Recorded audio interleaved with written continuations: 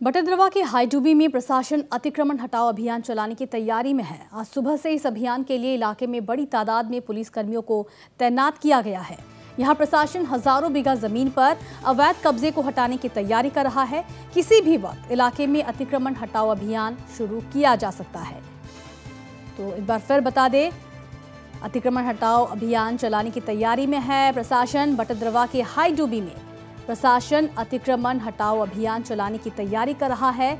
आज सुबह से ही इस अभियान के लिए इलाके में बड़ी तादाद में पुलिस कर्मियों को तैनात किया गया है। प्रशासन यहाँ हज़ारों बीघा ज़मीन पर अवैध कब्जे को हटाने की तैयारी कर रहा है।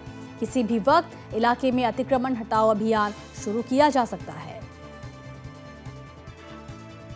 बर्तमान सरकार जनप्रिय मुख्यमंत्री হিমন্ত বিশ্ব শৰ্মাদেৱে যি পদক্ষেপ লৈছে সঁচাকৈ প্ৰশংসনীয়। আৰু এই বেদখল মুক্ত হ'লেহে আমাৰ সত্ৰ সংস্কৃতি অসমীয়া জাতি আৰু সংস্কৃতি ৰক্ষা পৰিব।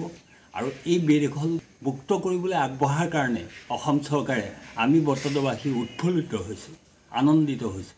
বটদ্ৰৱ লালুংগাঁও কিচামতৰ দুশ পঁয়ষষ্ঠি বিঘা ভূমি আমাক চৰকাৰৰ ফালৰ পৰা দিয়া হৈছিলে।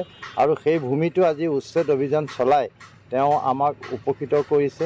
এটা কথাই আমি আনন্দিত হৈছোঁ। আমাৰ দীৰ্ঘদিনে আজি চল্লিছ বছৰ ধৰি যিটো আন্দোলনত আমি নামি আছিলোঁ মুখ্যমন্ত্ৰী ডাঙৰীয়াই আজি বৃহত্তৰ বটদ্ৰৱ আঞ্চলিকত যিখিনি অঞ্চলত যিখিনি আজি তেওঁ পদক্ষেপ হাতত লৈছে আমাৰ অসমৰ সকলো ৰাইজৰ ফালৰ পৰা আমি তেওঁক বৰ নথৈ আনন্দিত হৈ আমি ধন্যবাদ জ্ঞাপন কৰিছোঁ।